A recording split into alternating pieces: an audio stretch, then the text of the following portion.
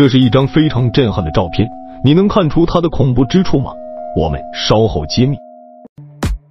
山姆周末在海边度假，当他用手机自拍上传朋友圈时，身后的海水里窜出一个不速之客，他的生命定格在四十五岁。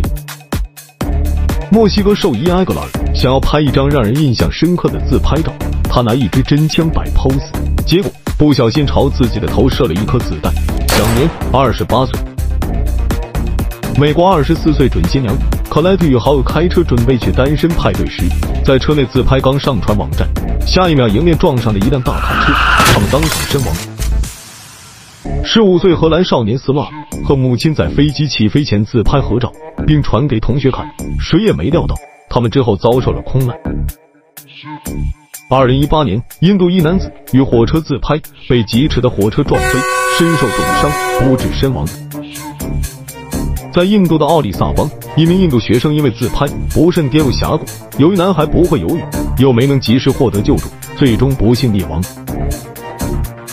一九九六年八月八日，星野道夫正在野外的帐篷中休息，突然一头棕熊闯了进来。在生命的最后一刻，他选择了拿起相机记录这一切。一列疾驰的火车冲下断桥，幸运的是，拍摄者所在的车厢只是侧翻，并没有坠落。二零零四年，就在印度洋海啸发生前数秒，这些游客还在忘我的拍照，而身后海面滔天海浪正汹涌逼近。亚历山大在野外被狼群逼到悬崖，自知走投无路的他拍下了最后一张照片。